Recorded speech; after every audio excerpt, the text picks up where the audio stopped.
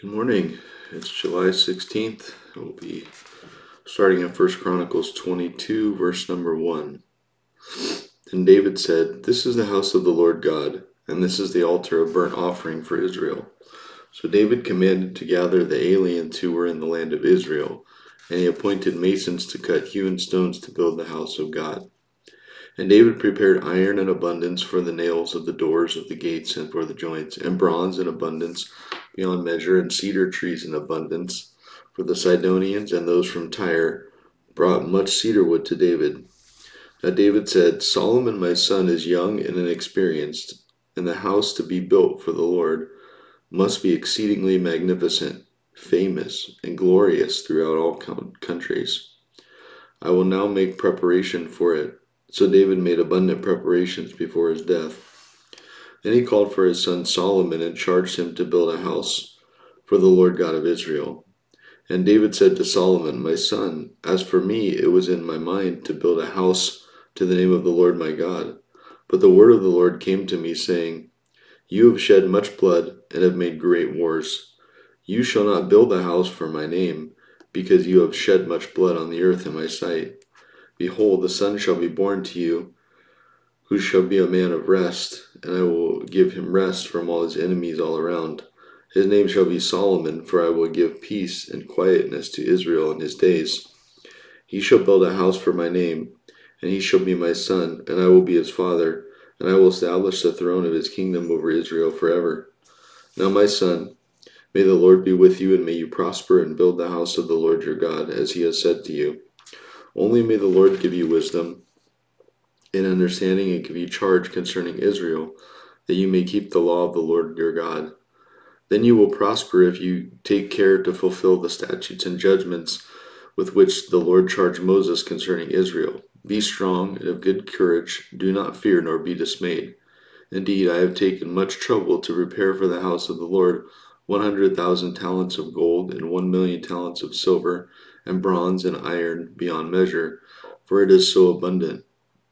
I have prepared timber and stone also, and you may add to them. Moreover, there are workmen with you in abundance, workmen and stone cutters, and all types of skilful men for every kind of work. Of gold and silver and bronze and iron there is no limit. Arise and begin working, and the Lord be with you. David also commanded all his leaders, saying, leaders of Israel to help Solomon his son, saying, Is not the Lord your God with you?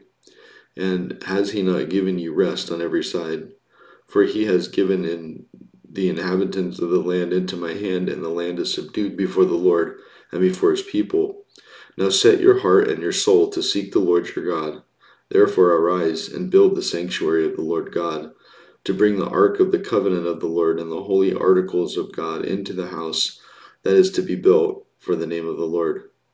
Chapter 23 So when David was old and full of days, he made his son Solomon king over Israel, and he gathered together all the leaders of Israel with the priests and the Levites. Now the Levites were numbered from the age of thirty years and above, and the number of individual males was thirty eight thousand. Of these, twenty four thousand were to look after the work of the house of the Lord, six thousand were officers and judges. 4,000 were gatekeepers, and 4,000 praised the Lord with musical instruments, which I made, said David, for giving praise. Also, David separated them into divisions among the sons of Levi Gershon, Kohath, and Merari. Of the sons of the Gershonites, Laadan and Shimei. The sons of Laadan, the first Jehiel, then Zetham and Joel, three in all. The sons of Shimei, Shelomith, Haziel, and Haran, three in all. These were the heads of their fathers' houses of Laadan, and the sons of Shimei, Jahath, Zina, Jeush, and Beriah. These were the four sons of Shimei. Jahath was the first, and Zizah the second. But Jeshua and Beriah did not have many sons, therefore they were assigned as one father's house. The sons of Kohath Amram, Izhar, Hebron, and Uzziel, four in all. The sons of Amram, Aaron and Moses and Aaron were set apart, he and his sons forever, that he should sanctify the most holy things, to burn incense before the Lord, to minister to him, and to give the blessing in his name forever. Now the sons of Moses, the man of God, were reckoned to the tribe of Israel. The sons of Moses were Gershom and Eleazar. Of the sons of Gershom, Shebuel was the first. Of the descendants of Eleazar, Rehabiah was the first. And Eleazar had no other sons, but the sons of Rehabiah were very many. Of the sons of Izhar, Shelomith was the first.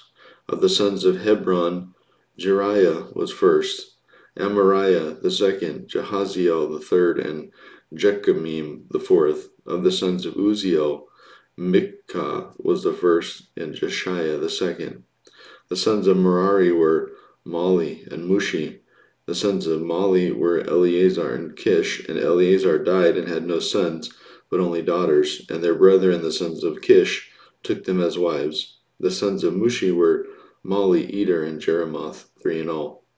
These were the sons of Levi by their fathers' houses, the heads of the fathers' houses, as they were counted individually by number of their names, who did the work for the service of the house of the Lord, from the age of twenty years and above.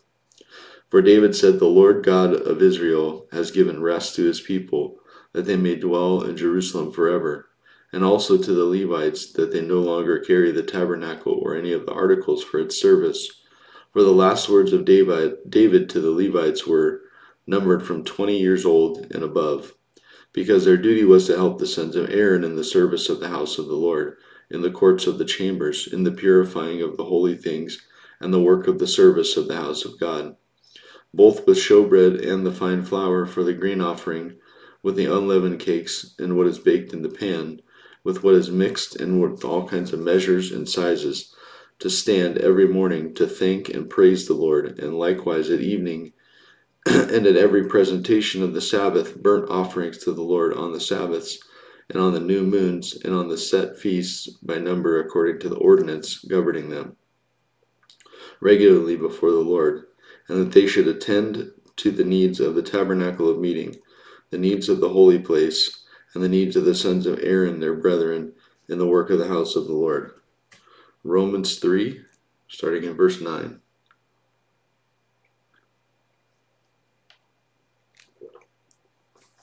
What then?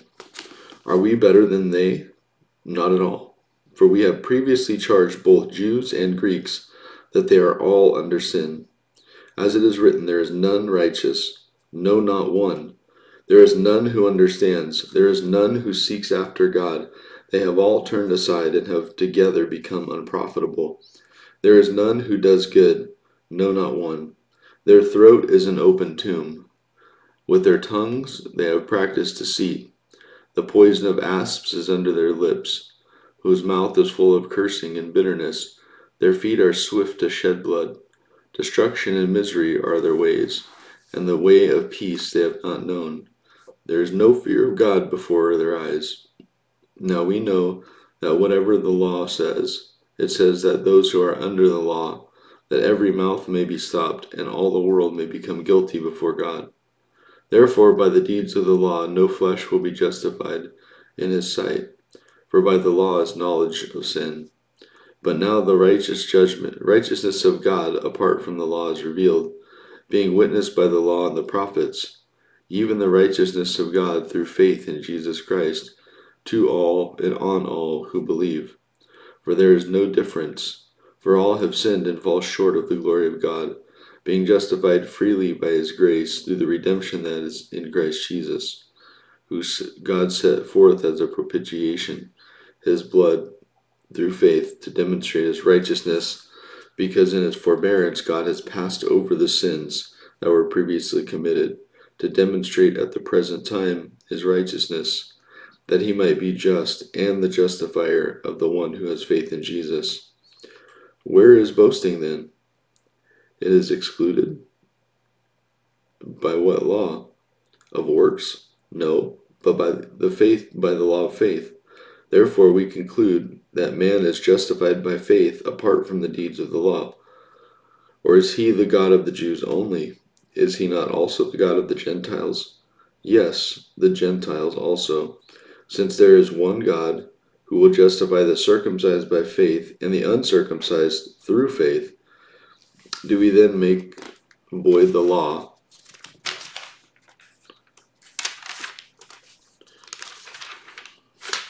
Through faith. Certainly not. On the contrary, we establish the law.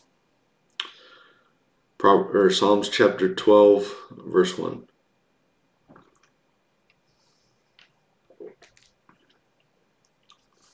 To the chief musician on an eight stringed instrument, eight, to the chief musician on an eight stringed harp, a psalm of David. Help, Lord, for the godly man ceases, for the faithful disappear from among the sons of men. They speak idly, everyone with his neighbor. With flattering lips and a double heart they speak. May the Lord cut off all flattering lips, and the tongue that speaks proud things, who have said, with our tongue we will prevail. Our lips are our own. Who is Lord over us? For the oppression of the poor, for the sighing of the needy, now I will arise, says the Lord. I will set him in the safety for which he yearns. The words of the Lord are pure words, like silver tried in a furnace of earth, purified seven times. You shall keep them, O Lord you shall preserve them from this generation. A wicked prowl on the wicked prowl on every side, when vileness is exalted among the sons of men. Proverbs 19, verse 13. A foolish son is the ruin of his father, and the contentions of a wife are a continual dripping. Houses and riches are an inheritance from fathers, but a prudent wife is from the Lord. And that concludes our reading for today. Let's go ahead and pray. Lord, we come before you this morning and we are grateful for you and your word. And we thank you that you've given it to us freely, Lord, and that we can read it like this every day without fear. And Lord, I pray that you would just help us to not read it as a time for clocking in and clocking out, but reading it just to get to know you, to hear what you have to say. I pray that you would speak through it, Lord, that you would just speak to our hearts, that we would come more and more in line with who you are, or more of us would go away. And Lord, I, I pray that you would just fill us with your spirit today, that we would have what we need for this day, Lord. And also, Lord, we just lift up our country. Lord, we pray that you would bring about repentance in the church, bring about revival among the lost, Lord, that there would be brokenness and the desire to turn to you. Lord, would you just heal our, our country? Lord, would you just be the nation of Israel, bless them. We pray these things in Jesus' name. Amen. God bless you guys.